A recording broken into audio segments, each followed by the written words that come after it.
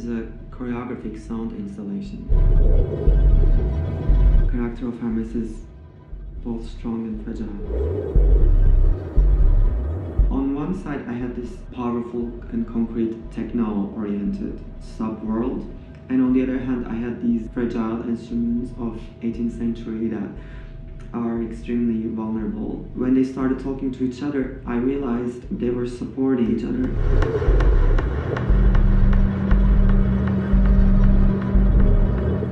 Element in every song that creates a certain warm temperature and um, gives a nice poetic feeling to this cold and industrial environment. That this technical architecture of Hermes became very elastic. Music is like a frozen architecture in a way. When we record music, then it sound that kind of gets captured forever. Like a museum piece.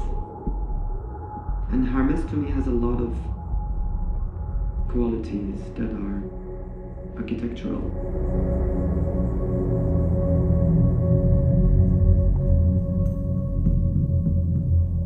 what I normally do is uh, try to reflect the sound of bassoon, like to, to make the bassoon as a singer, then I'm kind of becoming an instrument.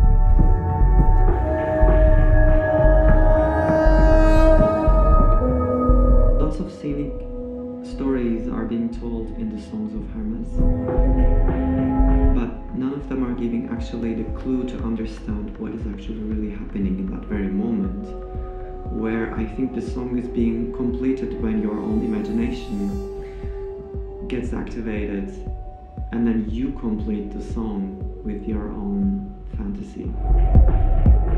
You can actually um, make peace with your own fears. This is what this album does to me. Potential to perhaps maybe move things a little bit in a different way, maybe create a little crack in the earth that can shape things a little different after this.